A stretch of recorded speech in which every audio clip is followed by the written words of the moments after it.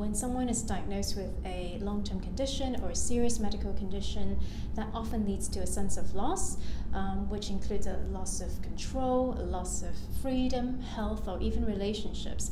Um, and all these may lead to depression.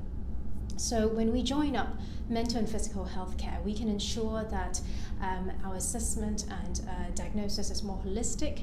Um, and that's really important because um, physical symptoms are not always best explained medically, and psychiatric symptoms are not always best explained psychologically. Um, also, there is ample evidence from around the world that a collaborative care model between mental and physical health care professionals lead to better patient health outcomes, both mental and physical, as well as better satisfaction and also reduce the cost of health care. So, for all these reasons, it is really essential to join up mind and body care.